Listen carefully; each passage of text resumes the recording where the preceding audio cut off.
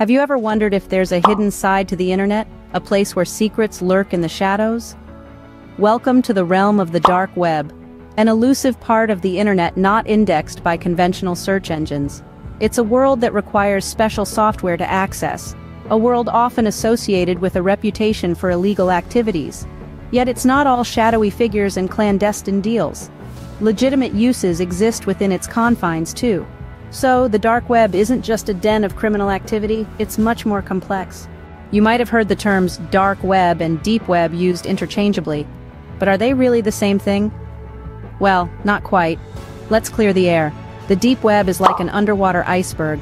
It's vast and hidden, comprising all parts of the internet not indexed by search engines.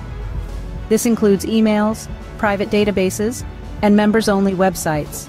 It's where you'll find your online banking details and subscription-only content. Essentially, it's the bulk of the internet that's out of sight yet mostly harmless. On the other hand, the dark web is a smaller, murkier part of this iceberg. It's a subset of the deep web, but its content is intentionally hidden and requires specific software to access. It's notorious for hosting illegal activities, but it's also a haven for activists and whistleblowers. Thus, while the dark web is part of the deep web, they are not the same thing. Curious about how one might stumble into this hidden part of the internet? Well, the first step is downloading a browser that can access .onion sites, the most popular being Tor, short for the Onion Router. This browser routes your connection through multiple servers worldwide, effectively cloaking your IP address. Now you've got the browser, but wait a minute. Before diving in, you need to ramp up your security. Use a virtual private network, or VPN, to add an extra layer of protection.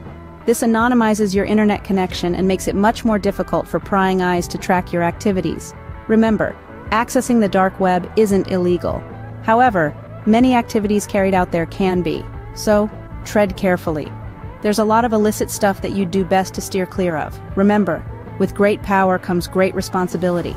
Use your dark web access wisely. Now let's delve into the nefarious reputation of the dark web. This vast, unregulated part of the internet is notorious for its association with a myriad of illegal activities. Picture this, a digital black market teeming with illicit goods and services. From drug trafficking and illegal firearm sales to the trading of stolen personal information, the dark web is a hotbed for criminal activity. What makes these transactions even more insidious is the role of cryptocurrencies. With their promise of anonymity, Cryptocurrencies like Bitcoin have become the preferred mode of payment in these shady dealings. They provide an added layer of obscurity, making it difficult for law enforcement agencies to trace these transactions back to their source. But remember, the dark web isn't inherently evil.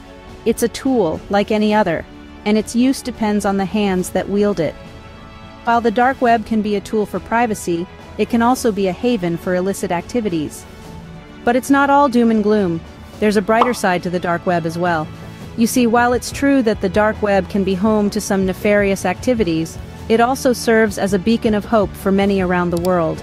Consider whistleblowers, for instance. These are the brave souls who often put their careers and sometimes their lives on the line to expose corruption and wrongdoing. The dark web provides them an anonymous platform to share sensitive information without fear of retribution.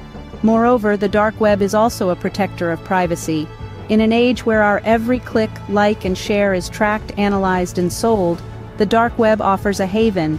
Here, users can browse, communicate, and transact without leaving a digital footprint.